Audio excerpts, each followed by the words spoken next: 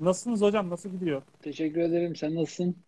Hocam o kadar yayın yaptım. Sizde yaptığım yayın kadar hiçbir yayından böyle geri dönüş almadım. Yok zevkli ya, yok bizi havaya sokma şimdi. bak, ba- vallahi bak yani e, şöyle hocam böyle bir eğitici gibi konuşuyorsunuz. En önemli güzelliği o. Yani böyle e, an, çok herkesin anlayacağı şekilde anlatıyorsunuz ya olay o. Ya sadece Hocam akşamki paylaşmaya çalışıyoruz yani o yoksa tabii ki kimseye ukalalık yapmak gibi bir niyetimiz, düşüncemiz de yok tabii ki. hocam işte öyle yapmaya çalışmadığımız için doğal olduğumuz için Gayet zaten doğal. Her, şey her türlü her şartlarda doğalız yani. Onunla yanaşmıyoruz. Hocam insanların aradığı samimiyet de bu. Bunu anlatmaya çalışıyor yani insanlarda. Ya, Böyle ya, çıkıp robot gibi maç yorumlayanları izletmek istemiyorlar. Böyle sanki odalarında biz sohbet ediyormuşuz da onlar da bizi izliyormuş havası olunca insanların hoşuna gidiyor. Hocam Alanya Kasımpaşa bitti. Maçı seyrettiniz mi? Valla onu seyredemedim ben. Ee, Ama şey, Kasımpaşa adam- kazandı. Fuat Hocam kazandı. 2-1. Evet, evet, Alanya'nın kan kaybı devam ediyor. şeyi seyrediyordum ben. Ee, Akisar Adana Spor'u seyrediyordum. O yüzden o maçı Asıl asıl Ad- Adanalılar şimdi basacak yayını. Adana maçı Hakan Çinemre yine attı. Hakan Çinemre Aa, iki, iki maçtır aynı pozisyonda, aynı yere, aynı duran top. Ee, Kesen de iyi kesti. Sakatlandı Hakan- ama. Hakan da orada bulundu iki maçtır. Ama e, çok şey olmuyor tabii ki. Yani çok da zevk vermiyor. Yani bu iki maçtan 6 puan önemliydi. 21 puanla e, sonuçta ilk yarı bitti. E, yukarıda 9 puan var. Aşağıda 8 puan var. Artık bundan sonraki transferler her türlü şartlarda e, yukarı mı oynanacağını, aşağı mı oynanacağını yoksa ya bize bu durum yeter diyeceğini Hocam belirleyecek. çok böyle Transferlere hava, bağlar. havaya girmesinler. Yukarıya oynuyoruz havasına girmesinler. Ya Bir herkesin gönlü, olarak gö- gönlü biliyorsun her zaman söyleyeyim. öne doğru bakar. Yani aşağıya doğru Akisar bugün yani ligin en kötü Akisar'ı vardı bugün sahada. Çünkü e, yabancılar gitti. Yeni yabancılar geldi Evet, ama evet, transfer tahtası açılmadığı için lisanslar çıkmadı. E, Akisar'ı böyle yakalayabilecek en iyi konumda yakaladı Adana tabii canım galibiyet yanıltmasın. Asla yanıltmaz zaten ama sonuçta 3 puan 3 puandır her zaman için ve 21 puan iyi de bir puandır bu bu, bu, e, kadroyla. E, o yüzden ben o tarafına bakıyorum işin. Yani hani bundan sonraki e, yapılacak oyuncu takviyeleri ve takıma katkı sağlayacakları katkılar sizin yukarılarda mı bulunacağınızı ya da hani bu bu seviyede mi kalacağınızı e, ya da aşağıda mı şey yapacağınızı, bağlantınız olacağını gösterecektir. Yani önemli olan e, dediğim gibi her türlü şartlarda e, yapılacak transferlerle alakalı ama devre arası transferlerini biliyorsun. Yani herkes çok iyi oyuncular istiyor devre arasında ama hiç kimse de iyi oyuncusunu vermiyor yani. Şimdi Adana Spor Özegovic'i verir mi? Santroforunu. Kimle anladı ismini ya? Bir yerde geçti adı da Ozagovic'i. Tamam verir mi? Vermezsin yani. Vermez tabii canım. O Yani yüzden Ozagovic- hani hani o yüzden Donkor'u verir misin? Vermezsin. Goran'ı verir misin? Vermez. Yani devre arası transferleri biraz da hani bulunduğu takımlarda problem yaşayan, oyun sağlamayan oyuncu grupları öyle oluyor zaten. Yani çok iyi etüt etmek gerekiyor. E, dediğim gibi alt liglerden alsan e, bu sefer de taraftara alt ligden oyuncu alıyorsun oluyor. Yani çok e, zordur devre arası transfer. O yüzden sezon başı 20 yapacağına 10 yap ama iyi transfer yap. E, hiç devre arasına e, kendini bu kadar zorlaştırma yani. Hocam 21 puan almış zaten. İkinci yarıda 21 alırsa 42 yapar. 42'nin de ligden düştüğü görülmedi bu zamana kadar. Yani çok Ya daha zaten kalırlar. geçen sene yanılmıyorsam e, playoff takımları e, 24'te mi 26 ile falan bitirdiler yani. Hani çok da puan yoktu geçen seneki baktığın şeyler ama dediğim gibi sen amaç ligde kalmak mı? O zaman tamam Yani- sen kal, kal- zaten kalırsın yani Eskişehir 9 puan var playoff'la arasında Adana'da Adana 8 Spor'un puan da aşağıda var diyorum işte. Bak diyorum ki şimdi karar sen verecekler. Ya tabii ligde kalacaksan şimdi zaten Eskişehir durumu ortada. Ee, e, Başkan da Akhisar'ın- açıklıyor. aç- açamayacağız diyor tahtayı diyor. Evet. Akisar'ın durumu ortada. Akisar açacak ama hocam tahtayı yani. Ben biliyorum. Yabancılar antrenmana çıkıyor. E, açacaktıysa elindeki mevcut yabancıları tutsaydın o zaman yani. Niye kay? Bir daha öyle yabancıyı nereden bulacaksın? Takımı bilen, Hocam orayı bilen. o zaman Menemen'le Balıkesir riskli. Yani Eh. şimdi Akisar'ın ben transfer açacağını söylüyorum. Ben açtı diye biliyorum hatta. E, Ama böyle prosedürler var. E, yabancılar antrenmana çıkıyor. Yani Delarge antrenmanda, Laval antrenmanda, birkaç isim daha antrenmanda. Evet. e, kabul ediyorum. Ben de diyorum ki hani madem açacaktın mevcut olanları tutsaydın şimdi. Hani e, elindeki oyuncu grubu giden yabancıların da kötü yabancılar değildi yani. O yüzden ikinci yarı zaten bu kadar puan toplama şansı yok yani. iki tane isminde Bolu'ya gideceği söyleniyor Akhisar'dan ayrılan yabancılardan. Yalnız Bakalım. Yanılmıyorsam bugün Bandırma'ya gitti. Yerli Tuzla- bir oyuncu Bandırma'ya gitti. Tahay Evet. Bandırma'ya gitti. Yabancısı herhalde bugün Tuzlu'ya gitti. Rotman mıydı? Yanlış okumadıysam. Bakalım. Yani Rotman'dan haberim yok ama araştırırız hocam. Ee, hocam biz seninle Türkiye Kupası'nı konuşmak için açtık da şu e, e, yayını yaptık da Erzurum Fenerbahçe maçını da bir değerlendirelim. Erzurum Ya. Anadolu takımı sonuçta. Ya tabii ki e, hani Erzurum e, bir sene önce çıktılar, düştüler, gene çıktılar. Hani e, zor bir de bu sene dört takım düşüyor. Yani hani Evet. e, bu şeyleri yöneticiler hani bu transferlerde, hoca tercihlerinde e, daha sağlıklı karar vermeleri gerekiyor. Yani sonradan diyorum ya devre arası transferler gerçekten çok zor oluyor. Hani devre arasında takıma yaptığınız takviyelerden ya aklımda kalan benim bir e, Fenerbahçe'de Nobre var geldiği devre arası çok iyi oynamıştı. Hani çok böyle aman aman da katkıları falan bulmak zor oluyor yani. O yüzden hani düşerse yazık olur Erzurum'a kocaman bir şehir hani ama e, iyi transferler yapmak zorundalar yani. Birilerine de yazık olacak hocam. Dört tane takım düşecek. Yani Dört takım kolay değil yani. düşen- Şimdi 2'de düşenin 2 Allah yardımcısı olsun. şimdi 2'de 2 yaptı e, Kayseri. E şimdi geldi Dan Petrescu. E, oradaki hoca Hocam. hoca 2'de 2 yaptı. Hani şimdi niye değişiyor? Anlatabildim mi? Yardımcı hoca 6 puan aldı değil mi? Evet, Yardımcı hoca yani- 6 puan aldı. O yüzden Petros diyorum yani biraz daha biraz daha şey yapsak e, yer- yerli hocalara şey yapsak ama biz de bizim de yerli hocalar olarak biraz daha bulunduğumuz takımlarda bir şeyler yapmamız gerekiyor yani Kol- kolay pes edip de gitmemek gerekiyor yani. Eski e, ekonomik güçler yok takımlarda haklı olarak. O, yüzden biraz daha e, şey yapmak. Amaç e, biraz daha Türk futboluna yardımcı olmak gibi e, gerekiyor yani. Başkan'ı da alakalı bugün. Hı, söyleyin hocam. Samsunspor'la siz. alakalı yorum yapacağız. E, o yüzden merak etmeyin. E, Samsun dinleyenler. kupada devam ediyor mu hocam ya? Benim haberim yok. Samsun elenmedi mi? Samsun elendi. Şimdi orada Samsun Spor'la ilgili Samsun'da hocam bir- aradan çıkartın. Geçen de biliyorsun yarım kalmıştı. Çok bir şey söyleyemedik Samsun'la ilgili. Tamam.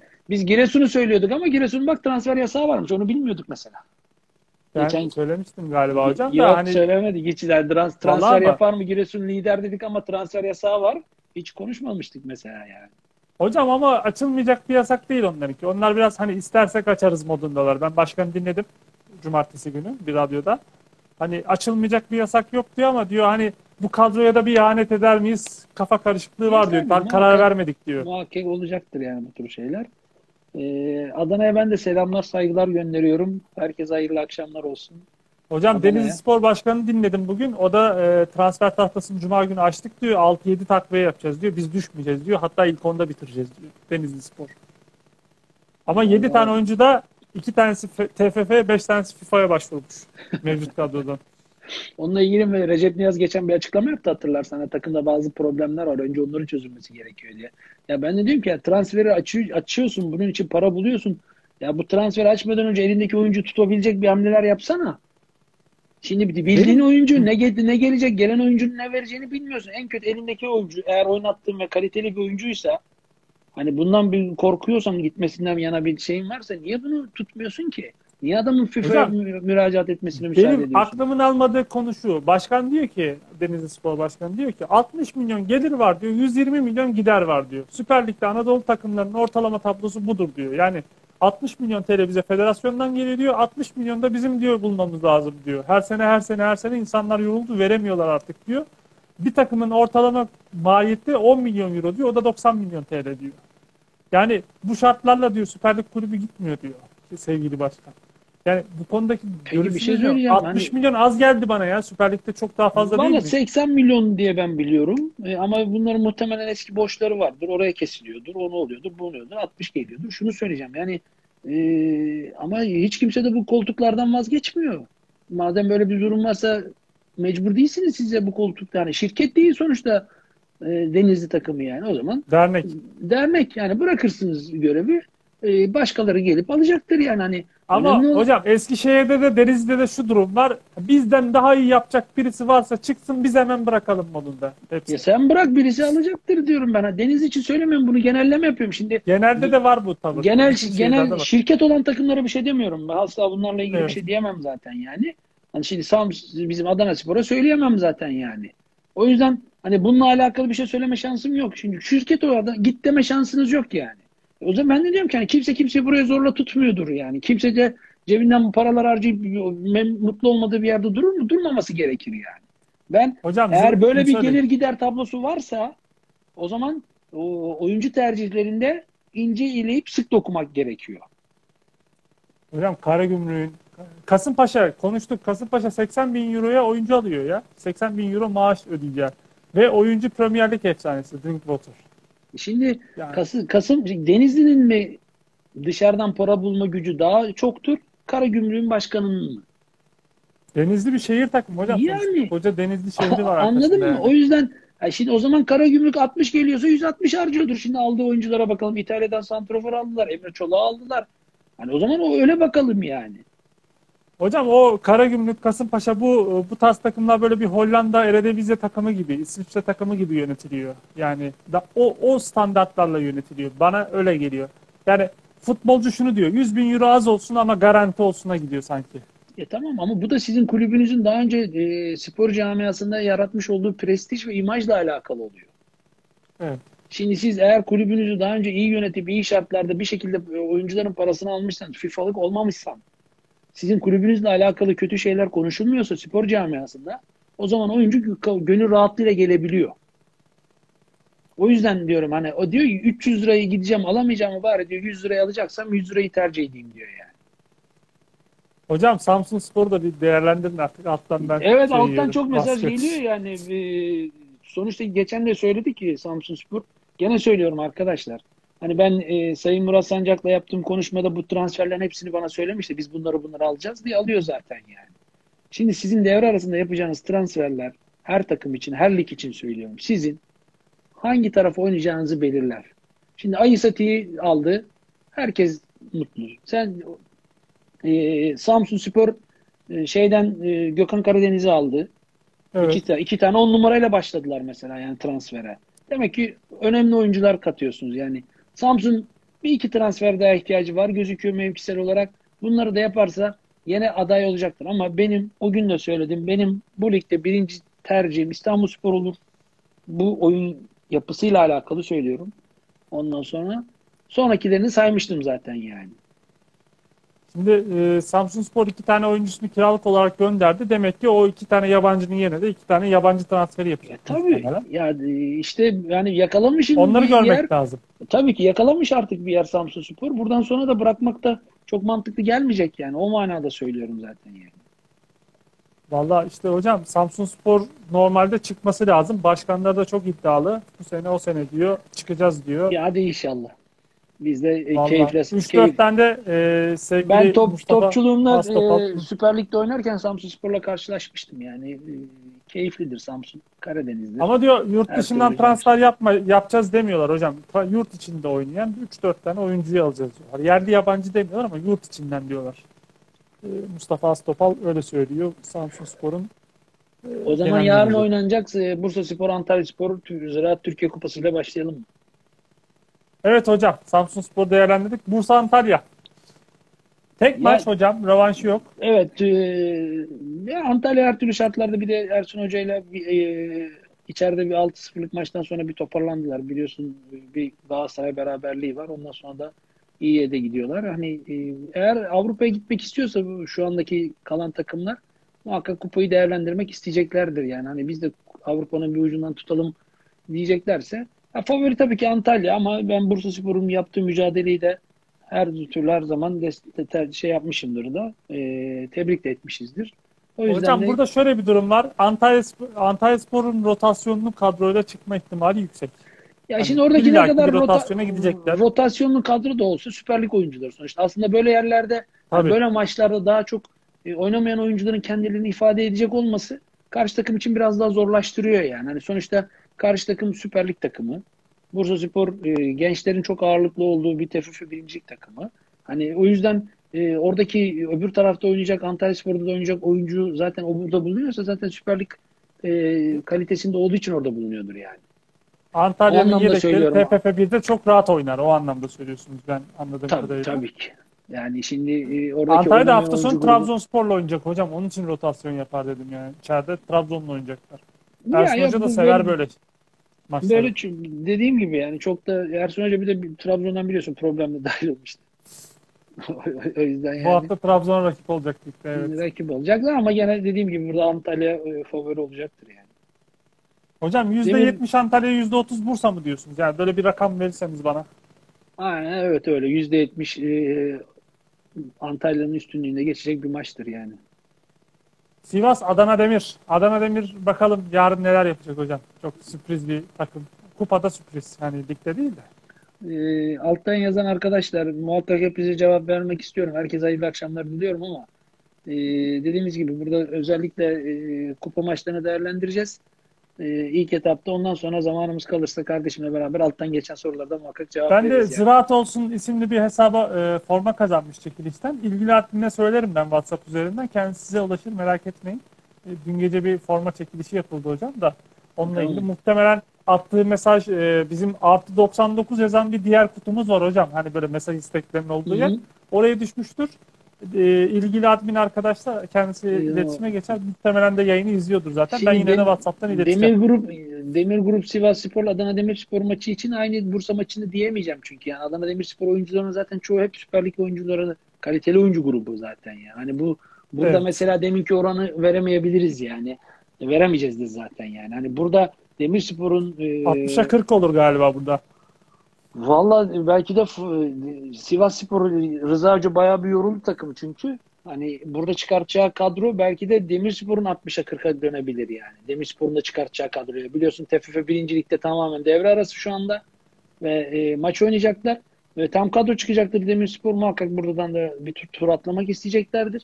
Hani Demirspor e, bu, bu maçta favori değilse de ama Sivas Spor da favori değil bence yani. Hocam Sivas 12 Eylül'den bu yana 25. maçına çıkacak. Yani, Yani şimdi çok kolay değil mi? Onu- 25. Ve hemen hemen de aynı oyuncu grubuyla oynuyorlar zaten. Hani dediğim Evet. gibi mesela Demirspor, Adana Demirspor e, hani burada e, tur atlarsa da sürpriz olmaz yani. Valla şöyle bir bakıyorum hocam da 2, 4, 6, 8, 10, 12, 14, 16, 18, 20, 20, 23 oyuncu forma giymiş Sivasspor'da. 24 maçta 23 oyuncu hocam. Yani Yani 24. farklı oyuncu oynamamış. 23 farklı isim toplam 24 maçta süre almış Sivasspor'da. Yani kadro rotasyonu darlığı anlamında söylüyorum. ya işte en çok da Max Grandel oynamış. 24 maça çıkmış. bu kolay en olmuyor işte. oynamış. Yani bu, bu, Avrupa Kupası, Türkiye Kupası, Türkiye Ligi hani bu tür takımların eğer e, kadroları şey değilse, geniş değilse zorlanacaktır. Dediğim gibi hani bir Demirspor şu anda dinlendi oynamadı. Tatil yaptılar. 3 gün izin verdiler. Maçı da Üç yok sonra- hafta sonu. Evet maçı da yok. 3 gün sonra toplandılar zaten onlar. Ondan sonra şimdi Demirspor grubu yani bir e, maç oynayacaklar ve daha dinlenmiş bir takım. O hemen hemen Sivas'ta Başakşehir'e gidecek hocam hafta sonu. ya bence ligi daha çok düşünüyor olacaktır Sivas. Yani çünkü belki de bu sene çok yordu kupa onları. Hani belki de Avrupa Kupası'nı önümüzdeki sezon düşünmeye de bilirler yani. Bursa'da Adana Demir'de iyi kurallar çekmiş hocam o zaman. Ben bundan gördüğüm kadarıyla. Ya Bursa dediğim gibi ama şey Adana Demir e, bence daha şey hani daha güzel kura çekmiş. Hani zaten biliyorsun Yani bence hocam bu turu Sivasspor'un kadrosu belirleyecek gibi geliyor bana. Yani e Sivas'ın tabii şimdi Rıza yarın Hoca'nın çıkartacağı 11'e bağlı. 18.45'te maç. E, Yarın e, kadroyu baktığımızda oradan hemen hemen her şeyi söyleme şansımız daha da çoğalabilir ama bu futbol işte. Bugün de mesela Kasımpaşa e, hocasının maçtan önceki konuşması yani biz zaten eksiklerle geldik hani burada ne yaparız ne ederiz derken maçı kazandı döndü mesela yani.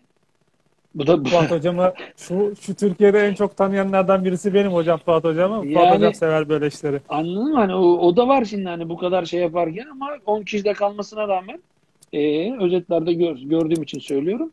E, Gençler Birliği, bildi yani. Gençler Birliği TFF birincilikteyken böyle gümbür gümbür gidiyordu hocam hatırlıyorsunuz değil mi? 8'de Gümbür 8 gümbür. yapmışlardı. He. Sonra 9 Eskişehir deplasmanına geldiler. Fuat Hoca şey dedi ya işte çıkacağız maçımızı oynayacağız şöyle böyle. Hocam maçı 3-2 Eskişehir aldı. Biz Gençler de, Birliği yenildi. biz, biz de Adana Spor'da görevliydim ben o zaman. Biz de Ankara'da berabere kaldık. Yani ilk ilk beraberlikte bizde oldu. 8'de 8 yaptılar. Sonra bizde oynadılar. Biz de berabere Ya kaldık. Mesela ilk beraberlik Çok yani. net favoriydi yani şey. Ya, Gençler her zaman ama favori olmuştur. O, lig, o zamanki şartlarda bize bizde de favoriydiler ama Eskişehir Biz- 3-2 almıştı hocam. biz de bir puan aldık geldik yani zaten. Federasyon bize verdi zaten. Beraberliğe bir puanı direkt biliyorsun. Sistem veriyor zaten. Onlar Evet. vermiyor. Ye, Yeni Malatya Galatasaray hocam. Galatasaray iyi bir Ha. Dinliyorum. Yeni Malatya Galatasaray e, biliyorsun şey e, Galatasaray, Malatya bu hafta sonki maçta e, böyle çok bir yormadılar gibi geldi maç maçta ben kendilerini seyrettim biraz. Hani sanki biraz da şey oldu onlar için. Hani bir maç oynandı, döndük geldik gibi oldu. Ondan sonra o yüzden çok da Kayseri'de yoruldukları gibi hani üzüldüklerini düşünmüyorum açıkçası. Yorulmaktan ziyade üzüldüklerini düşünmüyorum maçın sonucunda. Ee, Galatasaray 6-0'lık Fatih Hoca biliyorsun sağ kenarına indi. Ama Evet. e, ben e, Malatya'nın bu işe daha farklı bakacağını düşünüyorum. Galatasaray için kolay maç olmaz yani.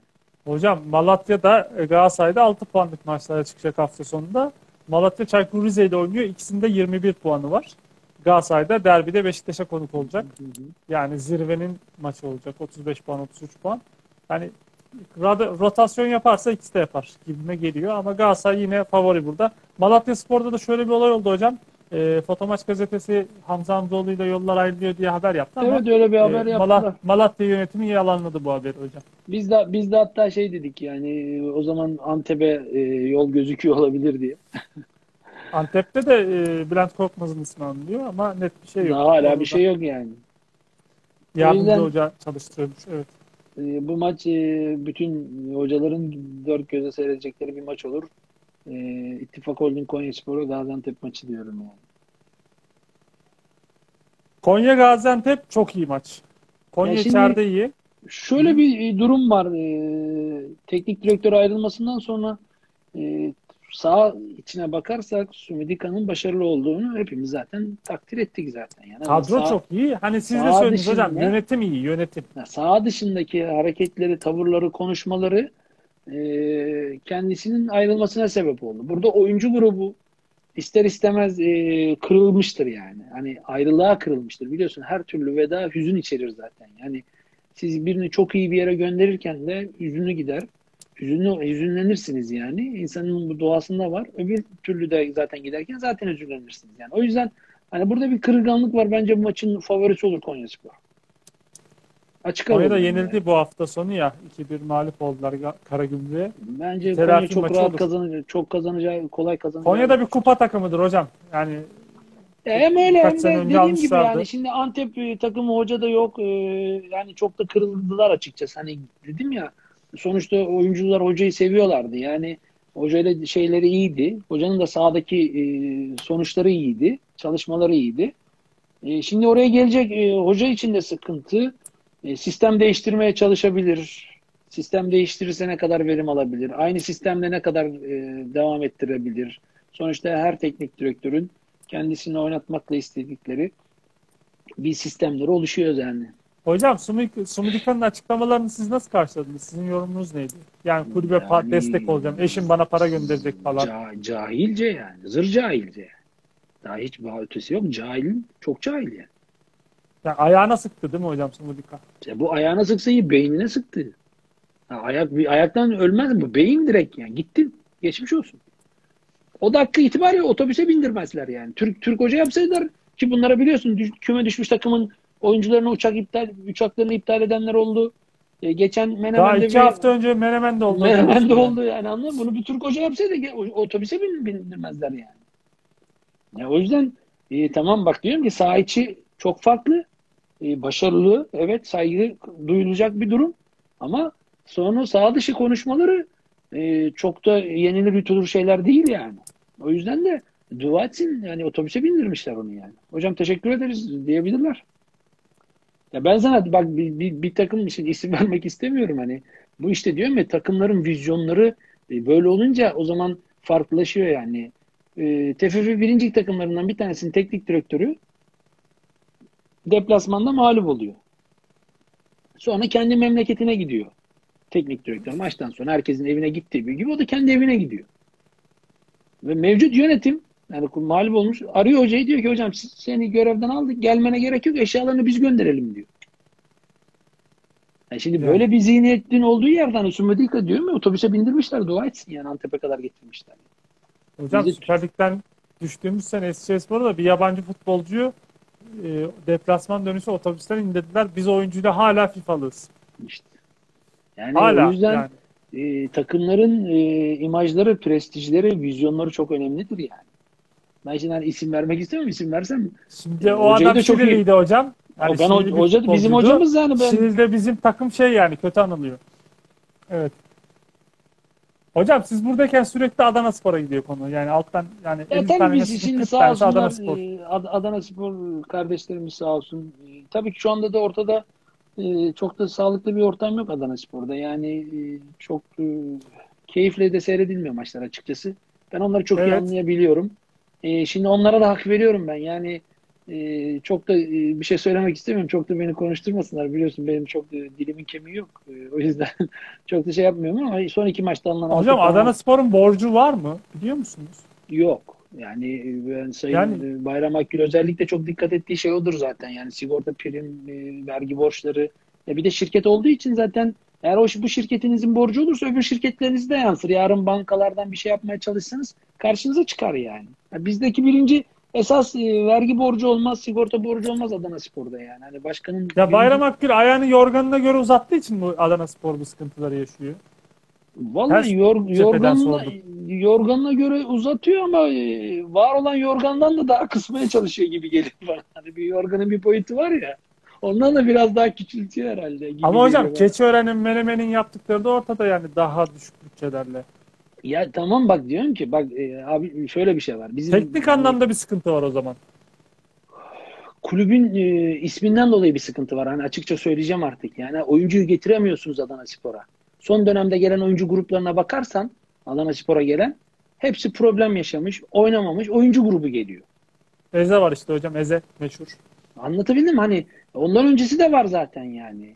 O yüzden e, demin bir şey söyledim. Hani bir prestij, vizyon, arma Evet. anlatayım? Bunlar çok önemli. E şimdi siz bir takımın prestijini, armasını bunu bitirirseniz oraya oyuncu getirmekte zorlanırsınız yani. Başka takıma ya en basit örneğini vereyim mi? En basit örneğini. Evet. Yani Demirspor'un e, oyuncusu parasını Demirspor ödediği halde başka X bir takıma gidebiliyor. Ve bizim yani e, Adana Spor'u e, şey yapmıyor yani tercih etmiyor. E çünkü öyle bir tesis var ki hani tesiste hiçbir e, şey yok. Ne? Kötü mü hocam? Yani çünkü çok kötü bir tesis var yani. Niye tesisleşmiyor Adana Spor? Para mı yok? Ya da hocam şunu söyleyeyim. Adana'nın ileri gelenleri Adana Spor'a yardım etmiyor mu? Kim mesela ileri gelenlerinden kastım kim? Büyükşehir Belediyesi, Ticaret Odası, Sanayi Odası, fabrika sahipleri, Etmiyor. ilç- ilçe belediye başkanları. Adana Demirspor'a mı daha çok sahip çıkıyorlar? Onu soruyorum. Ben bilmiyorum. Adana'ya çok hakim değilim. O yüzden soruyorum. Ya zaten e, o belediye başkanlığı koltuğuna kim oturursa otursun hani bir, bir şekilde Demirspor'a yardımcı oluyor. Yani Demirspor daha ön planda Adana'da. Yani şeyleri ileri gelenlerin gözünde. Hocamın yayını da donmaya başladı. Hı. Yani hocam Demirspor biraz daha ön planda tutuluyor galiba. Ee, böyle maddi imkanları Ama ben- olanların gözünde. Ben e, uzanlar döneminde oynarken hiç böyle bir şey yoktu yani. Bunu e, siz kendiniz belirliyorsunuz bazı şeylerle yani. O yüzden söylüyorum. Yani Bilmiyorum belki Çok- se- sevgili başkanın ikili ilişkilerinden alakalı bir durumda olabilir hocam. işte diyorum ya hani şimdi şirket olunca otomatikman insanların bakış açısı değişti ama uzanlar döneminde de döneminde de şirketti bu takım yani. Yani demek ki iyi işbirlikleri kuramıyor hocam. Şirketler sponsor almaz, işbirliği yapar. Yani şirket ağzında odur o. Ya işte ben diyorum ben burada hep şunu söylüyorum hani burada bununla alakalı söylüyorum genel hayata bakış açım ne kadar saygı gösterirseniz karşınızdaki insana o kadar saygı görürsünüz. Biz senle geçenki yayında birbirimize saygı göstermeyip bir sohbet etmesek bugün bir daha bu yayını yapmak ister miyiz? İstemeyiz. yani. Valla bizden çok izleyiciler istedi hocam. Biz yani halk Ama bak istediği için ama e, buradayız. tamam ben bir negatif elektrik almış olsam bir bahane bulup e, derdim ki yok Yani. teşekkür müsait değilim derdim yani. Doğrudur hocam. Yani hocam o yüzden- Tuzla Başakşehir. Hı, O söyleyin, yüzden söyleyin söylüyorum bunu. Yani hani e, şimdi e, takımların e, belli bir prestij ve arma arma e, vizyonları vardır ve e, kalitesi vardır. Yani hani o yüzden bir oyuncu bir yere giderken önce e, bunlara bakar artık yani. Biz eskiden hep 5 yıldızlı otellerde ya da başkanların e, süper lüks e, ofislerinde imza atıyorduk. Ama sonra gidip diyorduk ki ya burada mı çalışacağız? Sah- antrenman sahası bu mu? Burada mı yatacağız? Sonra diyorduk yani. Şimdi önce e, bu tesislere gidip bakmak gerekiyor. Ondan sonra oyuncu yapıyor. O yüzden söylüyorum yani hani oyuncu tercihi bir şey yaparken e, son e, otobandan son çıkış var benzin istasyonu Evet. son çıkış diye köprüden önce son çıkış. İşte bazı oyuncular için e, Adana Spor tercihi son çıkış oluyor yani. Oynamamış, e, boşta kalmış, problemli oyuncular. Ben kendim birebir yaşadım yani. 2B'de bir oyuncu var, Santrofor, gol kralı olmuş. E, görüştük. Hani böyle böyle diye. Hani düşünür müsün diye. Yok. Yani benim yani şahit olduğum bir şey var. Ya arkadaşınızın çocuğu gelmez yani. Öyle bir durum oldu benim şahitliğim Adana var. Spor'un bir imaj problemi var. İmaj dediğiniz gibi. problemi büyük var yani. Neyse beni hadi çok konuşturma. Geç tuzlarını çıkarmış. Hocam Adana ben Spor'la e, ben kupa maçlarını sormaya çalışıyorum da alttaki E, izleyicilerimiz Adana, Adana'dan bir sürü şey geliyor. Adana Demirspor'un bir golcü olduğu kesin. Önce tesisi düzelteceğiz. Tesis belediyenindir. E, belediyeden dolayı da Sayın e, Ba- Bayram Başkanı hiçbir şey yapmıyor tesise. O yüzden e, belediye yapılsın istiyor. Belediye yapılmıyor. Hani e, neyse. ya Hocam neyse. Zeytinburnu nerelerde? Zeytinburnu. Bak Zeytinburnu'na Zeytinburnu transfer bizim- olmuşsunuz. kötü oldu ya Zeytinburnu. İşte Ben küçükken. Süper Lig'deydi hocam ben çocukken ya. Ben de 90 97 senesinde oynadım da 96 97 Ben o zaman senesi- çocuktum. 96-97 senesinde Süper Lig'de oynadılar. Düştüler. Ben ondan sonra Zeytinburnu'na gitmiştim. Oradan sonra Adana Spor'a geldim yani. Ee, şimdi alttan e, yazıyor. e, bir abim var benim. e, Bayram Başkan'ın da e, arkadaşı olur. O yazmış dikkat diye. Biz bunu her zaman söyledik. e, o yüzden sıkıntı yok. Yani biz ne doğruysa bizim için onu söylüyoruz. Kırmıyoruz. Kimseyi de kırmak da istemiyoruz. Bunları kendileri söylüyor. Orada Tribünlere de yapan- oynamıyorsunuz hocam. Asla. Tribünlere de oynamıyorsunuz. Tribünlere oynadım zamanında. Bitti. Futbolcuyken oynadım ben. Ama neyi oynadım? Ben oynadım sahada. Onlar bizi takdir ettiler yani. Onların takdir etmelerine karşılık biz sahada sa- daha çok savaştık, daha çok koştuk yani. O, o- öyle oynadık biz tribünlere. Biz tribünlere başka türlü oynasaydık zaten hala bu noktada olmazdık yani. Ama da herkes emin olsun yani. Tuzla Medikol Başakşehir yani Başakşehir öbür kadrosu da çok kaliteli bir kadro. Yani e, burada da çok zorlanacağını tahmin etmiyorum. E, Maç hangi ha, Başakşehir Fatih Terim stadında. Bir de kendi bak oradaymış maç bir de. Hocam hani kurada deplasman ama kura, kurada deplasman. Sadece scoreboard'da logo solda bir sağda olacak hocam o kadar. Şey, şey diyecektim yani hani buradan bakıyorum ben de maçların şeylerine. Hani diyecektim belki sağ belki şey olursa belki ana adapte olmakta zorlanabilir. Ne Başakşehir bileyim ama- Vefa stadında falan oynansaydı değil mi? Olabilir. Kendi Tuzla'nın sahasında olabilir. Herhalde biliyorsun e, kupa maçlarında şey yok herhalde. E, Şey gibi hocam bu Ankara falan yok. gençler yok herhalde. yok yok şey ama tribünler kapalı ya. Sadece yöneticiler Ya, girecek. yöneticiler giriyor ama yok şey için diyorum. Hani ortam olarak Tuzla'nın sahası oynanabilir pozisyondaysa dedim acaba orada mı oynayacaklar diye ama Ama yok şey işte. de hocam yayıncı kuruluş da çok etki ediyor böyle konulara. Ne muhakkak Çekim işte için. bak Başakşehir hiç zorlanmayacakları bir maç yani. ya hocam şey de olur. ka- kalitesi de kalitesi de iyi yani Başakşehir'in öbür kadronun kalitesi de iyi şimdi yani geçen Mehmet Topal e, sonradan girdi şimdi banka oynayacaktır yani. Yani şimdi orada kimi Başakşehir de moralli iki maç altı puan aldılar hocam. işte kimi kimi oradan oraya alsan e, her türlü bir şey yapacaktır yani. Şimdi Volkan Hatta Babacan oynuyor. Mert iyileştiyse Mert oynatırlar. Yani e, düne kadar da milli takımda Mert oynuyordu. Mert bu arada sakat mı yoksa Covid'den dolayı mı oynamıyor? Valla Volkan oynuyor ama sebebini bilmiyorum hocam. Mert e, işte bir ara bir Covid oldu. Avrupa Kupası oynayamadı. Sonra geldi Avrupa Kupası oynadı. Manchester maçı oynadı. Türkiye'de oynayamadı falan. Ya Başakşehir burada çok ağır e, favori olur yani. Ama Tuzla'da sürprize açık bir takım değil mi hocam? Bence Şimdi Başakşehir'in e, B kadrosu çıkar büyük ihtimal maça. Başakşehir'de böyle kadro yok. Oynamayan kadro var. Az oynamış oyuncu grubu var. B kadrosu yok. B kadro olmuyor mu hocam? onda? Olmaz. Yani böyle Futbolda B taktik kadro... hocam taktik antrenmanda bir ilk 11 oynar bir de B kadro karşı gelir. Ya ona Hani ye- diyemezsin işte. Yani hani ben şimdi oyuncuları hani yedek takım oyuncusu da demek istemiyorum. Yani Başakşehir Ya hocam Cemali çıkar- Sertel A takımda yer alan bir B takım oyuncusu benim gözümde mesela. Peki, şey Cemal benim söyleyeceğim. kardeşim. Tamam, bana kırılmaz. Cemali bugün Süper Lig'de başka bir Anadolu takımında olsa oynar mı? Bence oynar hocam. E tamam işte bak. Anladın mı? Kayseri'de, Malatya'da, Denizli'de banka oynar. O zaman B takım olmuyor. Anladın mı? İşte Başak, Başakşehir'in A kadrosu nasılsa yani Mesela yani. orada Rahim var herhalde. Stoper e, milli takıma da seçildi. Gene o, Evet Rabil, Rabil. Ravil var. Hala geleceğin yıldızlar arasında hocam. İşte yani belki bak yarın oynayabilir yani bu kardeşimiz.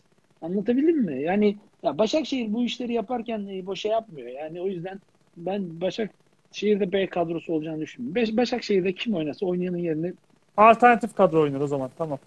Az oynayan kadro diyelim. Az o- bu zamana kadar az oynamış oyuncular kardeşim. Anlaşamadık hocam.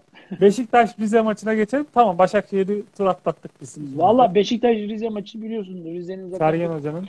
bir, bir hafta oldu mu oynanan maç? 6-0'lık maç bir hafta oldu mu? Evet Beşiktaş şey 6 mı atmıştı Rize'ye? 6-6 Evet. bitti. Şimdi bir hafta Oy, oldu mu? do- altısında 5 gün. 6 gün araydı hocam bir hafta 6 araydı. gün arayla şimdi hani ister istemez oyuncu olarak korkarsın ya teknik adam olarak da korkarsın yani hani tekrar böyle bir şey yaşar mıyız diye. Ee, Bir kere Yine psikolojik Rize pi- pi- psikolojik bir dep şey durum. E, biliyorsunuz bu hafta da son dakikada kurtardılar beraberliği içeride. Rize. Orada da bir tartışma var. Denizli açıklama yaptı falan. Karışık. Yani e, o yüzden e, hani Rize'de bu ara bir şey yok. O Remi oynamıyor uzun zamandır. Onun eksikliğini de hissediyorlar. da bilen yok. Hmm, sakatlığı falan Covid değil mi? Va açıklama Ama ben- yapmıyor hocam. Covid olduğunda Rize- isim vermiyorlar ya. Rize, Rize'nin, Rize'nin ben hani ekonomi anlamda çok sıkıntı. Başkan da çıkıp geçen maçtan sonra konuşmuştu hatırlarsan. E, Sayın Evet. Hasan Kartal dedi biz dedi gerekenleri yapıyoruz artık dedi. Yani burada bizim lig, bezlik bir durum kalmadı dedi yani. Psikolojik O yüzden de çok para- o zaman. Parasal şey yok. Hani E, kimse de Rize, Rize- yaptı. Evet, kimse de Rize düşer demiyor mesela hocam. Öyle de bir durum var. Yani iyi kadro var işte Remi falan iyi kadro. Şey Beşiktaş e, yani 5'te 5'ten sonra bir Hatay'da çok iyi oynamamasına rağmen berabere bitti maç ama hani gene e, bence Rize de bazı oyuncularını dinlendirecektir zaten. Yani Beşiktaş da dinlendirir ama Beşiktaş yine atlar. mu- muhtemelen Gökhan oynamayacaktır kaleci mesela. Hani şimdi bir daha bir, bir- böyle bir psikoloji Evet. zor olur zaten yani. Yani ben öyle fark olmaz hocam. Bir iki farkla Beşiktaş 90 dakikada bitirir gibime geliyor. Evet. Valla Aytemiz Alanya e, Büyükşehir Erzurum. Erzurum. Alanya'da bu ara işler iyi gitmiyor. Artık Erzurum'da bir ışık var ama olmuyor. teknik direktör de artık e, sahanın iç- içine e, dışından iç- içine doğru girmeye başladı. Rakip takımın oyun planlarını falan konuşmaya başladı. Bu çok sağlıklı bir durum değil.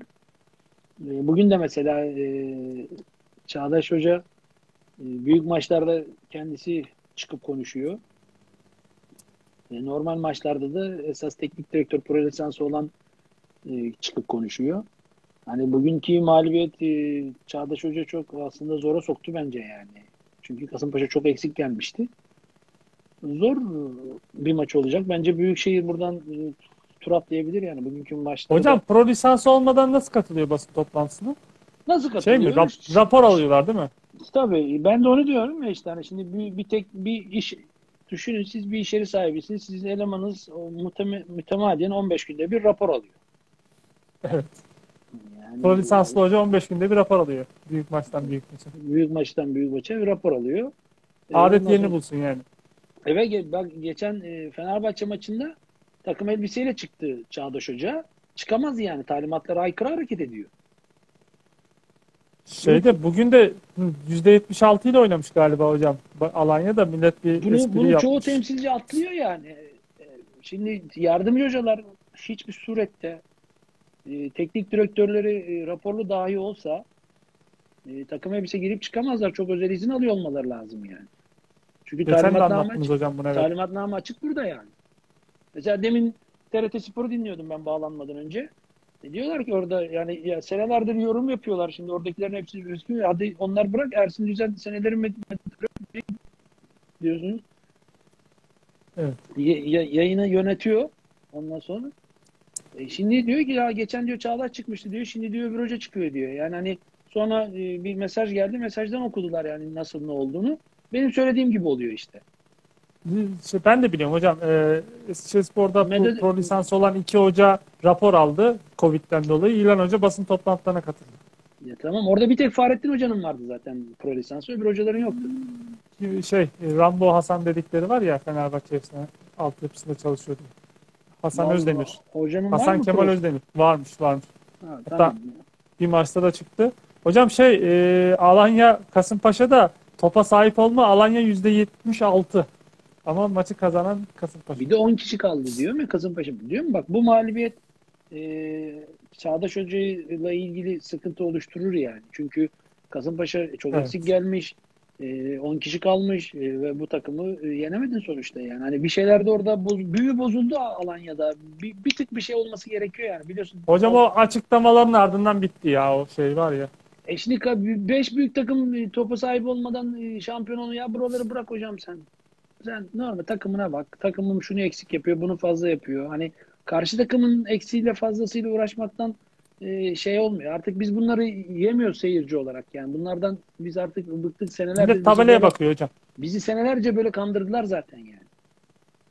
O diyorduk bak oraya şu sallıyor falan bıttı artık. Artık herkes sahanın içine bakıp sahanın içinde ne olup ne bittiğini herkes görüyor artık. Ve Hocam öğrendik. Çağdaş Hoca 3-4 hafta sonra gönderilirse şaşırır mısınız? Buna hiç şaşırmam ben. Niye şaşırayım? Burası Türkiye. Ha, ne, ne, nesi şaşırtacak beni? Lider takımın hocası 15 puan fark yapmış da gitmiyor ki. 3-4 haftaya da Ya. kalmayabilir yani. Ben de sana öyle söyleyeyim. Alanya'nın fikstürüne bakmak lazım. Ee, Vallahi yani Türkiye burası. Burada her şey olur. Devre arasını göremeyebilir. Devre arası hani kağıt üstünde olacak şeyde olmayacak da. Ee, Erzurum'la oynayacaklar. Ankara gücüyle oynayacaklar. Sivas'la oynayacaklar. Şey hocam yani görece kolay maçlara çıkacaklar. Yani ligin alt sırasındaki takımlarla oynayacaklar. yani. O yüzden Sivas. çok sağ Hocam Fenerbahçe Kasımpaşa son maçımız. Valla Fenerbahçe bir rüzgar aldı gidiyor biliyorsun. Yani, Geçen hafta yenmişlerdi 3-0 Kasımpaşa'yı. E, bu, bu bugün de e, yendiler. Bir de toparlanma var. İşte düne kadar herkesin eleştirdiği Sadık oynayıp Lemos'la e, Serdar Aziz oturuyor orada. E, iyi de bir şey oluştu şu anda. Ortam da keyifli. Herkes mutlu. Liderle aynı puan yani lider avarajda ikinciler. E, liderle aynı puana sahipler.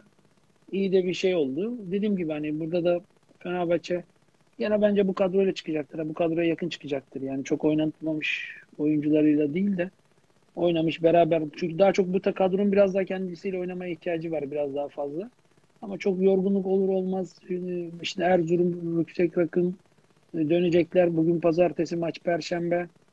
Yani o yüzden biraz daha şey yapar mı? Ama dediğim gibi yani Fenerbahçe gene maçın favorisi olacaktır. Hocam kupa maçlarını konuştuk. Bir 5-6 dakika daha konuşup kapatalım. Ee, Süper Lig'de bu sene takımların başında bulunan teknik direktörler değişiyor ya. 10 takım hoca değiştirdi. Bunların 4 tanesi de 3. hocayla çalışıyor. Yani bu Ya konudaki sadece, Süper, nedir sadece Süper Lig'e bakma yani. Evet, alt liglerde bu rakam daha da artıyor hocam yani. alt liglerde daha çok var. Yani o yüzden yani burada hani bu kulüplere belli bir kıstas sınırlama getirebiliyor mu? Getiremiyor federasyon. Aslında Yurt belli bir varmış ama. En fazla 3'müş. Bak yani orada olup da bizde olmaması da enteresan o zaman. Biz her şeyi oraya göre ayarlıyoruz ya. O yüzden hani bizde de olmaması enteresan. Yani o yüzden hani bu böyle yerler şeylerde hep üçüncü hoca olmak avantaj olur aslında. Üçüncü hoca sen gittiysen o takıma tamam hani kafadan bazı şeyleri daha rahat yapabilirsin yani. Yoksa astım astık kestim kestik değil de. Ama senin e, daha çok e, oyun formatıyla oynama şeklin daha kolay olur yani. Beni de iki hafta sonra ya düşünsene bir takım e, 13 tane hoca değiştirmiş. E, Sen dördüncü hoca olarak gidiyorsun. Ya beni ne zaman kovacaklar hep tedirgin olursun yani. Geç yani o ortada bir kadro var. Yarısını A hoca, yarısını B hoca, yarısını C hoca almış oluyor. Bir şeyler oluyor. Ya Zaten, zaten bizim ben- memlekette menajerler transfer yapıyor falan filan bir sürü iş. Ya zaten belli bir e, liste var. O listenin dışına da çok takımlar çıkmak. Şimdi e, Antep'e kim gider? İşte konuşuyoruz. E, Göztepe'ye kim gider? Konuşuyoruz. Anlatabildim mi? Hani hiç değişik isim 10 tane isim dö- kendi arasında dönüyor. hiç çıkıyor mu değişik isim çıkıyor mu? Çıkmıyor mesela yani. Hani kulüplerde bir, bir şeyleri bir, bir şeyleri risk edip hani e, yeni hocalara yönelmiyor.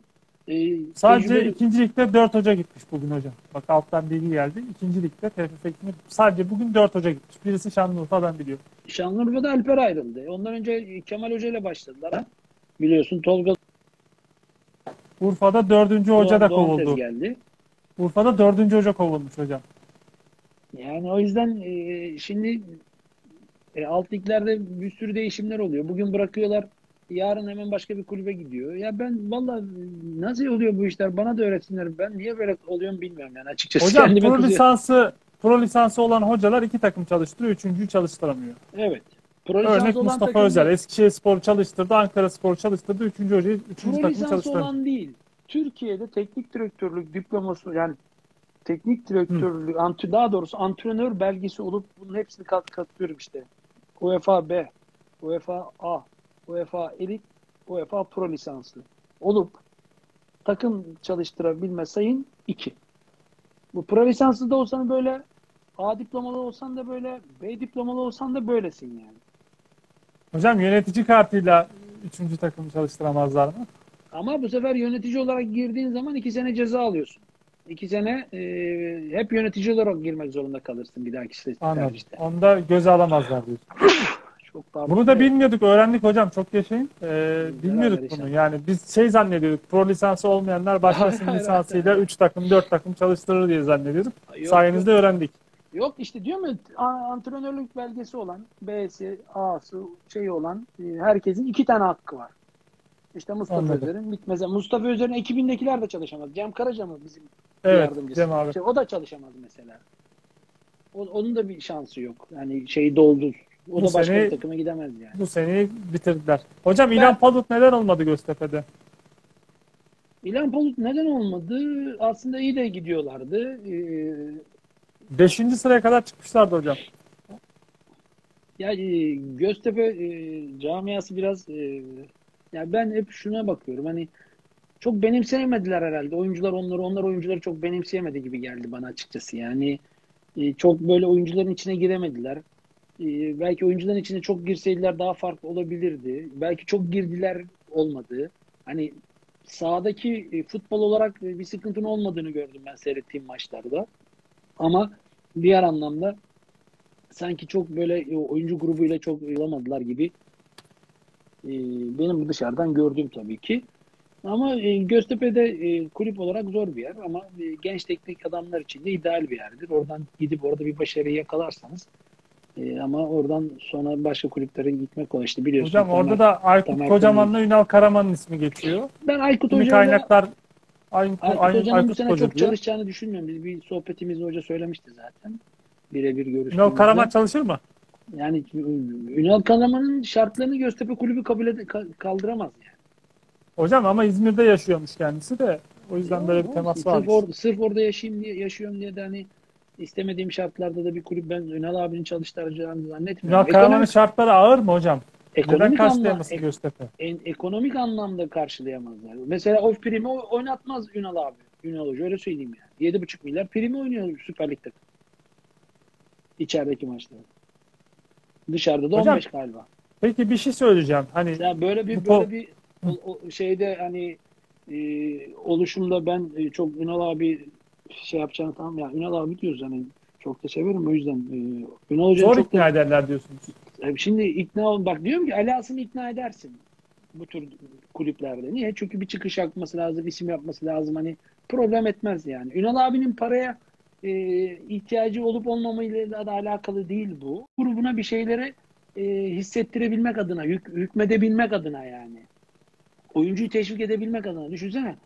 E, yanılmıyorsam Hatay takımı 1-0 yendi onlar orada. Yani 50 bin lira prim aldı Hatay takımı. Sen yensen 7,5 lira alacaksın. 7500 lira. 7500. Hocam bu prim sistemini de konuşmak istiyorum. Yani böyle her ayın birinde maaşı hesabına yatan futbolculara prim ne kadar doğru mesela? Türk futbolundaki delik de bu yüzden büyümüyor mu mesela? Ya büyüyor ama şimdi prim e, oyuncu bu şirketlerde de böyledir biliyorsun yani çalışmalar çalışan insan grubunda da Ama böyle zaten yani. çok yüksek maaşlar alıyorlar hocam yani. Prim işi biraz kargaşa bir iş bence yani. ama bu yeni Bana çıkmış bir şey yeni çıkmış bir şey değil bu ta İşte bunu geliyor. bunun bir Bunu- hocam şimdi şöyle prim öde sadece yöneticiler prim ödüyor. Maaşı ödemiyorlar. Oyuncu TFF'ye başvuruyor serbest kalıyor. bak oyun, oyuncu şöyle düşünüyor. Ben diyor primi alayım ma öbür maç başlarını zaten alırım diyor. Çünkü prim yazılı bir şey değil ya. Evet. Primi alayım diyor. Primi de nasıl bakıyorsun? Maçı oynamışsın, kazanmışsın. Anladın mı? Ondan sonra getiriyorsun maçtan sonra işte pazartesi, salısı, çarşambası, perşembesi ne zaman olursa ödüyorsun yani. Ama bir de oyuncu şunu biliyor.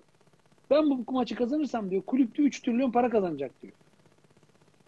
Süper Lig'de öyle evet. Süper Lig'de öyle. E şimdi primle insanları teşvik etmek daha kolay oluyor yani. O, o anlamda söylüyorum yani ama şimdi herkes aynı kıstasta olsa, aynı bir de, de, derecede değer koysalar prim adına mesela Futbol Federasyonu dese ki herkes 10 lira oynayacak, 15 lira böyle olacak dese tamam o zaman belki tutarsın ama diyor mu şimdi Hatay takımı yendi 50 milyar aldı. Kişi başı. Yani Şimdi e, Göztepe kadroya girenler alsa 20 kişi iyi para hocam. Yani şimdi sen 50 bin lirayı tek 1 başına aldığını lira. düşün. Sen tek başına aldığını düşün 50 bin lirayı. Orada Çok öbür tarafta para. oyun, orada öbür tarafta e, ki rakibin yani Göztepe kendisi yense 7,5 lira alacak. 7500 lira alacak. Yani primin İşte Ee, şirket takımlarının da dezavantajları olabiliyormuş. Bak Adana Spor'da da konuştuk. Göztepe'de de konuşuyoruz. e tabii şimdi Adana Spor da vermiyor zaten. Veriyor, şöyle veriyor bu senede. Primi veriyor. Şampiyon olursan prime sayacak. Şampiyon olamazsan alacağını istinaden sayacak. E, ve bunu da oyuncu biliyor. Vallahi hocam bilmiyorum. Ya Türk futbolunda borç niye artıyor? İşte çok çeşitli sebeplerden artıyor. Yani bugün Borcun az önce de anlattım. Alt- borcu- 60 milyon borcun- gelir diyorlar, 120 gider diyorlar. Yani Borcun arttığına baz alıyorum. Evet. Bak borcun niye arttığına girersek o zaman e, hiç çıkamayız bu işin içinden yani. Çıkamayız. Hani oy- oyuncu oyuncu bir kulübe Anadolu takımına 300 bin euroya söyleniyor. Süper Lig yani büyük takıma 1 milyon euroya söyleniyor. Yani o, oraları toparlamak gerekiyor öncelikle. Yani o yüzden bence bence her kulübün şirket olması lazım. Evet, kesinlikle. Bir şeyleri e, Kulüplerin ticaret yapması lazım hocam. dahilde tutabilmek adına. Ama şirketin ben diye de hani sen nasıl olsa benden bu kulübü alamazlar istediğim gibi hareket ederim mantığıyla da çalış- yönetmemek gerekiyor yani. Hocam sizin gibi bir ismi yayına alıp size Adana Spor sormamak çok büyük ayıpmış. Haberiniz olsun. Mustafa Gökoğlu öyle Ben, söylüyor. ben niye görmüyorum? Size Adana Spor sormadığımız için özür dileriz hocam. Ben niye görmüyorum şeyleri? Vallahi demek ki takip etmediğiniz için profili gizli Hayır, olabilir hocam. Profili gizli değil de En alttan ikinci yorum hocam. Ali Asım hocam gibi Adana Spor efsanesini yayın alıp Adana Spor sormamak büyük ayıp diyor. ya beni Hocam şimdi 54 dakikadır yayındayız. 54 dakikanın 30 dakikası Adana Spor geçti. Farkında evet mısınız? evet evet ben çok konuşuyorum zaten Adana Spor'u. O yüzden üstü de kapalı konuşuyorum hep zaten. Hani Hocam da- Hatay Sporlu Bupedza. Bu, Bupedza var yani. Ülpez'de, evet. 12. Nasıl topçu hocam? Hocam bana böyle e, azıcık kulak delik ya. Ben bir Fenerbahçe duydum ama sezon sonu için duydum mesela. Böyle Ya ama devam geçen senenin gol diye. geçen senenin gol kralı kimdi Süper Lig'de? Hmm, şey, Papi Sisse evet. Nerede? Şu anda hangi takım? miydi? Şu anda hangi takımda? Fenerbahçe'de. Fenerbahçe'de. Oynuyor Evet, mu? kafa gitti benim. Beyin gitti. Oynuyor mu? Oynamıyor. Tamam. Oynamıyor. Ama hocam bu da 24 yaşında yani. Bak e, şu var ben e, bizim dönemimizde de çok oyuncular geldi gitti büyük takımlara. E, çoğu Anadolu'daki takımdaki gösterdiği başarıyı gösteremeden geri döndüler. Çok özür dileyerek isimlerini söyleyeceğim. Ne olur yanlış anlamasınlar yani mesela. Serkan Aykut gol kralı geldi. Olmadı Evet. Galatasaray'da. E, bizim Antalya'da Fazlı vardı. Beşiktaş'a geldi. Olmadı. Sinan Kaloğlu geldi. Yiğit Gökoğlan geldi.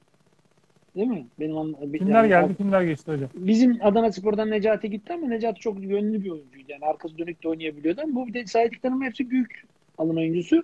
Serkan Aykut'un şöyle bir handikapı vardı. E, çok iyi bir takımdaki oyuncu grubun içine gitti yani Galatasaray. Daha şey oyuncular olduğu için. Okan de- Yılmaz demişler hocam mesela. Bursa'da Okan Yılmaz gol kralı. oldu. Ondan sonra Avrupa'ya gidemedi. Transfer son dakika olmadı. Galatasaray- yani o yüzden hani bir bin tutmadı yani. İşte tutan oyuncular e, işte Necati o dönemde gitti tuttu Necati Ateş. E şimdi o dönemde bakalım böyle hani çok da büyük şaşalarla gidip de e, geri dönenler de oldu. Yani şimdi Anadolu takımında göstermiş olduğunuz performans ve oyun mantalitesi ve anlayışıyla büyük takımdaki oyun mantalitesi aynı değil. Şimdi siz büyük takıma gittiğinizde maçı oynarsınız 30 metrede. Anadolu takımında oynarken santroforla stoperin arasında olur 70 metre. Evet. Yani bu bloklar arası kopukluklar başlar ve büyük alan bulursunuz. Şimdi diyorum ki ben de geçen senenin gol kralı Papi Sisi niye Fenerbahçe'de bu verimli olamıyor?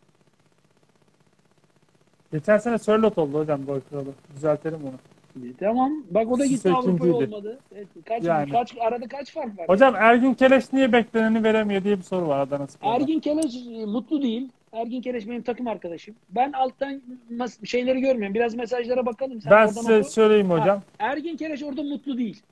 Ben net biliyorum yani. Net ben zaten Ergin benim takım arkadaşım. Çalışma şa- hem takım arkadaşım hem çalışması şeyimde olduğunda. O yüzden Ergin orada mutlu değil. Ergin mutlu olmadığı yerde de e, verimli olamaz zaten yani. Ha, bunun mutsuzluğu e, neye istinadendir? Onu zaten az çok bugün oyundan çıkarken herkes görmüştür yani. Hocam bu Pezza Fener'le anılıyor dedim ya. Bir tek sizde benim adım anılmıyormuş Fenerbahçe'yle. Herkesin adı anılıyor. Biz gençken Cahme oynasaydık- Kasımpaşa'da şov yapıyordu. Sonrası post diyorlar mesela. Ha, söyleyin hocam.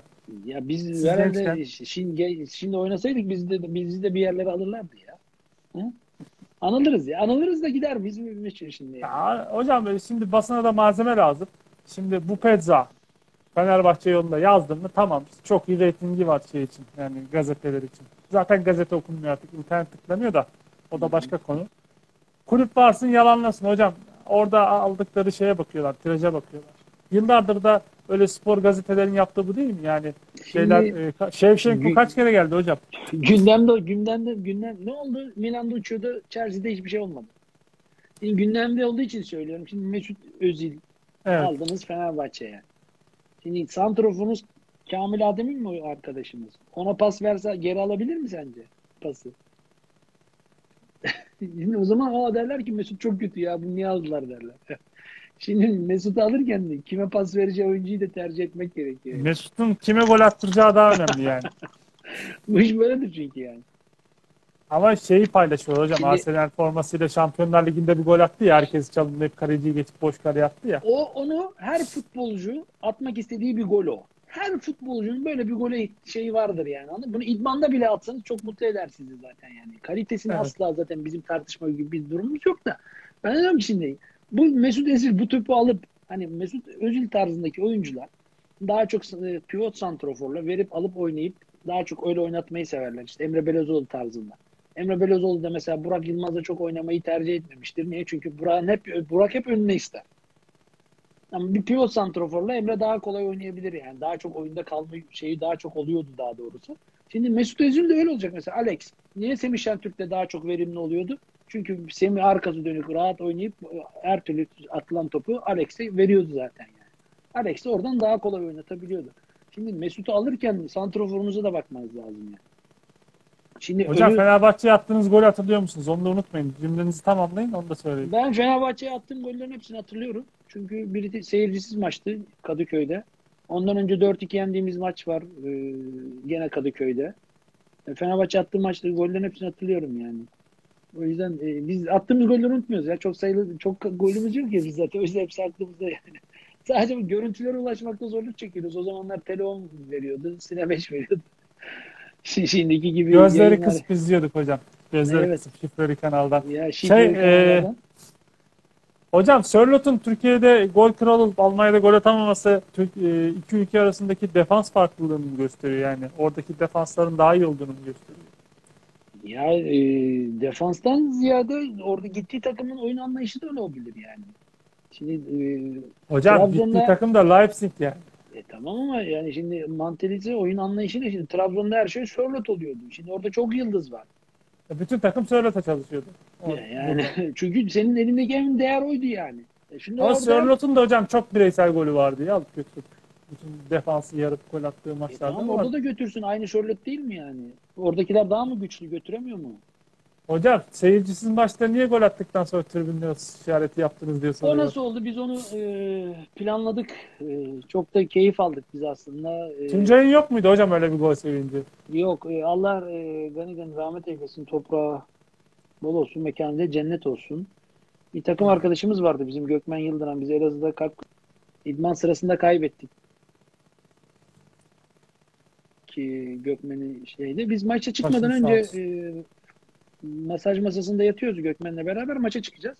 Seyircisiz maç o arada da biliyorsun o zamanki moda şey yani herkes bir sus işareti yapıyor falan. Ondan sonra dedim ki ya Gökmen gol atınca sus işareti yapalım. Çok dedim şey olur dedim yani Yani çok esprili olur. Düşünsene seyirci yok zaten. Zaten Türkiye'deki ilk seyircisiz maç o.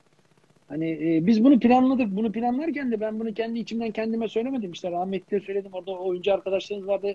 Yardımcı hocamız vardı. Ümit Metin Yıldız. O konuyu biliyor.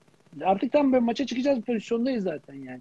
O onun üzerine gelişti zaten böyle bir şey. Yani hani yoksa biz e, alışılmış gelmiş bir şey yok ama e, bizden böyle Ama bir gazeteciler de çekti o işareti diyorsunuz. e, biz böyle bir espri beklemiyorlardı bizden de o yüzden böyle oldu zaten yani. Şimdi bu espri, Hocam espri sizin bir olayı nasıl yaptığınız mı, nasıl anlattığınız mı önemli yoksa karşıdakinin ne kadar anlat, anladığım önemli oluyor yani. Bizim ben ben herkesin bunu- ne aldı, ne anladı? Ben bunu planlayarak yaptım. Ben bunu seyircisiz maçta evet bu da bak hala konuşuluyor. Yapmasaydık konuşulmayacak. Seyircili maç olsaydı kimse konuşmayacaktı bunu. Hocam Alex mi Hacı'ya mı kadar gitti sorular valla aşağıda. Oralara ben karışamam. O kadar. Ben, ben de yani artık soruların geldiği noktayı söylüyorum size Ha, hocam. Ben e, Ronaldo tarzındaki oyuncuları seviyorum mesela. Alıp götüren. Yani o oyun e, futbolun gücüyle oynuyor. Öbüründeki e, zaten şey değil yani. O yüzden ben seviyorum. O tür oyuncuları Hocam Ronaldo'nun o kadar zıplaması normal mi mesela? Çalışarak yapılabilecek şeyler bunlar değil mi? E, tabii Çok ki aşırı şimdi yüksek sıçramayı, sı- sıçramanın bir adele grubu önemli. Sırt kasların önemli. Bel kasların önemli. Hani bunu Doğru bu- çalışma a- a- önemli. Allah vergisi bir şey değil bu yani anladın mı? Bunu çalışarak yapıyorsun bunu yani. Ha, Hocam sen kaleci sıçra- çıkıyor eliyle zıplıyor. Elleri de geçiyor Ya, adam. o, ya o ellerini, ellerini geçmez normalde de. Ya orada şimdi şimdi birisi Geçiyor koşarak adam. geliyor. Bak şöyle birisi koşarak geliyor. Birisi olduğu yerden sıçramaya çalışıyor. Yani adımlama ve şey o farklı. Ama evet yani kaleciyle Ronaldo yan yana aynı anda aynı pozisyonda sıçrasınlar. Elleri saymazsa Ronaldo gene herkesten yukarı sıçrar yani. Şimdi voleybolcuların Ama işte hocam öyledir. kaleci eliyle geliyor, Ronaldo kafayla geliyor, Ronaldo vuruyor işte. Onu anlatmaya çalışıyorum. Ya o timing hatası oluyor. Çok da şey olmuyor. Hı. Yani o yüzden şeyi hatırla Belçika maçında attığımız golü hatırla Avrupa Şampiyonası'nın 96'da. Şeyin e, Hakan Kalecinin üzerine- Yok, şey, Alpay Özala'nın de uzun Aynen, vuruşu. O, o, o sonra işte neyse golü, golü atanı söyleme. Ya Şimdi o Tamam, kalecinin üstünden, ha, kale, kalecinin üstünden çıkıp "Ay, öyle bir şey olabilir mi? Şimdi o koşarak gelip o durarak geldiği için adımlanma da şey yapıyorsun yani. Yoksa evet Ronaldo çok sıçrıyor. Bu kesinlikle Evet. kabul. Ama şimdi aynı boyda olup e, hani benim hem ben sıçrayacağım hem kol boyum var. Yani mümkün değil. O e, iyi sıçrıyor. Kesinlikle kabul ediyorum. İyi bir timing yapıyor ve koşarak geldiği için kalecinin daha fazlasını sıçrama şansı oluyor. Yoksa ya bu bir kere fiziksel fiziksel olarak doğru olmaz. Hiç Hocam kalecinin hiç bugün- sıçramaması lazım. Bugün futbol oynasan piyasa değerin 5 milyon euroymuş hocam senin. Haberin Vallahi olsun. biz, Altta e, öyle yorumlar geliyor. Vardı bizim de kendimize göre bir klas klasımız. Ben hep söylüyorum hani bu zaten herkes söylüyordur ama e, klas ve kalite kalır, form geçicidir. Evet, ama klasınız ve kaliteniz her zaman kalır. Ama form tabii ki geçicidir. Bu e, kolay kolay tutamazsınız formu ama klas ve kalite her zaman kalır yani. Hocam yaşamda da yine böyledir. tekrarlıyorum. Hı, yine tekrarlıyorum. Sizi şöyle bir takımın başında görmek istiyoruz artık. Ee, inşallah böyle bir takımın başında çalışırsınız. Biz de tribüne işte fazla pandemi biter de tribünde maç seyretmeye geliriz hocam. İnşallah e, nasip Tamam. kısmet bu işler biliyorsun. Hocam Cuma akşamı da Süper Lig maçlarını yorumlarız. Olur değil mi? Uygunsunuz değil mi? Uygunum uygunum. Sıkıntı yok. Tamam. Cuma akşamı görüşürüz hocam. Normalde Tamam. 21'ine sözleşmiştik de işte görüyorsunuz yani. Sen bizi sevenler istediğin çok. gibi bir program alıyorsun. Hocam güzel program oluyor ama keyifli oluyor. Sen şimdi gene bak yorumlar gelirse şey yapalım insanları da sık Hocam kapattıramıyorlar ki. Ben size bir saatten az sürecek dedim. 65 dakika oldu yani. yani. Ya, Adana sen, sporlar bir rahat bırakmıyorlar. Biz tabii ki e, spor camiası bizi Adana Spor'la Lasım olarak tanıdı ama biz o camiaya hizmet ettik. Ve de çok iyi hizmet ettik. Bunun da karşılığını ismimizi de aldık. Ama verdiklerimiz de var yani. Biz şimdi e, artık o takımda e, özdeşleşmemiz gayet doğaldır. Bu da tamamen bizim oraya yaptığımız hizmetlerden dolayıdır. Bizi insanların sevmesi bizim sahada e, bu formayı gücümüzün yettiğince terletmesinden dolayıdır. Yoksa biz bu insanların bizi sevmesi için bunları ne paramız yeter, ne gücümüz yeter, ne bir şeyimiz yeter yani. Biz sahada çıktık, işimizi yaptık, onlar bizi sevdi. Biz koştuk, onlar sevdi. Biz koştuk, onlar sevdi bizi. Biz bunun üzerine daha başka bir şey geçemeyiz, yapamayız da zaten. Hocam Ama- çalıştığım en kötü hoca Lövcü dediniz mi? Dedim ama hala söylüyorum. Benim o dönemde ya Löw, Löw benim dönemimde ne kazanmıştı ya? Geçen bir tanesi Twitter'da yazıyor. Futbolcusun işkembeden sallıyorsun diyor. Eş, iş, işkembeden sallıyor mu? Sen bilmediğin yerden sallıyorsun. Ben bana sorulan soru bu. Çalıştığınız en kötü hoca kim? En iyi hoca kim? Ben de dedim ki, Karaman demişsiniz. ben dedim ki Evet. çalıştığım o dönemdeki en kötü hoca Löw. Bunu o zamanki dönemin e, kulüp başkanı da açıkladı. Biz Löw'ü getirmekle hata yaptık dedi. Bizden sonra gitti Avrupa'da dünya, Avrupa şampiyonası oldu, dünya şampiyonası. Bu beni ilgilendirmez ki. Ben bunu ne zaman söylemişim? 2000 yılında söylemişim. E beni düştüğüm, düştüm düştüm ben Löv'le düştüm. İkinci yarının 3 maçı hiç puan alamadık. Biz düştük zaten yani. E şimdi bu hoca kötü hoca bana göre. Benden sonra kendini geliştirmiştir. Başarılar almıştır. Bana demediler ki şu zamanki mevcut hocaların içinde en iyisi kim, en kötüsü kim demediler ki. Çalıştığın en iyi hoca kim, en kötü hoca kim dediler. Şimdi ben Hikmet Karaman'la çıkış yakalamışım. Adana Spor çıkış yakalamış. E benim için en iyi hoca oydu. Bana bir şeyler katmış. E şimdi bana hiçbir şey katmayan bir Löw var. E ben şimdi ne yapayım? Yani Löw'e, Löw'ün, Löw'ün nesini öveyim yani? Çünkü övülecek bir durum yok ki. Benim en iyi oynadığım dönemler Hikmet Hoca ile çalıştığım dönemlerdi yani. Şimdi ben bunu nasıl inkar edeyim ki? Bana de sordukları soru bak. Soru şu. O zamanki soru zamanda sorduklarında daha Löw'ün e, Dünya Kupası, Dünya Kupası hiçbir şey yoktu yani. En iyi en en iyi yani en çok çalış, en iyi memnun olduğunuz şey yaptığınız hoca kim? En kötü hoca kimdi yani? Soru buydu. Biz de o zaman dönemkinde söyledik yani. Hala da söylüyorum. Dönemin başkanı da, kulüp başkanı Sayın Çağdaş Ergin de aynı şeyi söyledi. Getirmekle hata yaptık dedi yani. Bu kadar. Bunda yani hocam mesela yok. Fuat Çapa, Ankara gücü Kimse, Se- kimse Löw'ün avukatlığını yapmasın yani. Bir gerek yok. Ya birinin avukatlığını yapacaksa Ya hocam insan olarak benim avukatlığımı yapsınlar. Yani. bizim e, halkımız da bakıyor. Hikmet Karaman bir tarafta Löw kıyas yapıyor. Hoca Normal geç- olarak geç- sizin geç- açıklama geçen biraz programda hocanın programına hoca programa çıkmıştı. Salim Manav gazeteci soruyu sordu. Altından da bu soruyu sordular. E Evet. Şimdi hoca da dedi ki evet dedi. E çünkü geldiğinde başarı vardı. Hoca bizi başarılı kıldı. Bize de bir şeyler kıldı, şey yaptı. Ben de çalıştığım zaman da oyunculara söylüyorum. Ben sizin zamansal performansınızı arttırırım ama sınırsal performansınızı arttıramam ki. Ama zamansal performansınız artar. Ama sınırlı daha bunun üstünü büyütemem ben sizin sınırınızı geçemem diyorum zaten yani.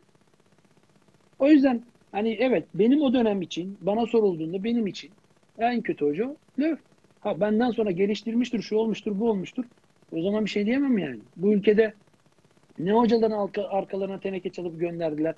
John ben, Benjamin Toşak falan şey Beşiktaş'tan kovalarak gitti Real Madrid'de şampiyonluklar yaşadı. Şimdi o dönemin Beşiktaş'ta oyuncusuna sorsanız en, en kötü çalıştığım hoca onu diyecektir yani. Çünkü başarısızlık var ortada. Az önce de söyleyecektim hocam. Fuat Çapa Ankara gücü 8 maç 2 puan ama Kasımpaşa'da geçen sezon yaptıkları ortada. Bugün aldığı galibiyet ortada. Bitti. Ya biz o, o dönemi herkes kendi dönemini değerlendirir yani. Bu başka bir şey yok. Teşekkür ederiz hocam. Çok güzel bir yayın. Rica ederiz. Ee, her zaman sıkıntı. En kısa kardeşim. zamanda görüşmek üzere hocam. İyi akşamlar.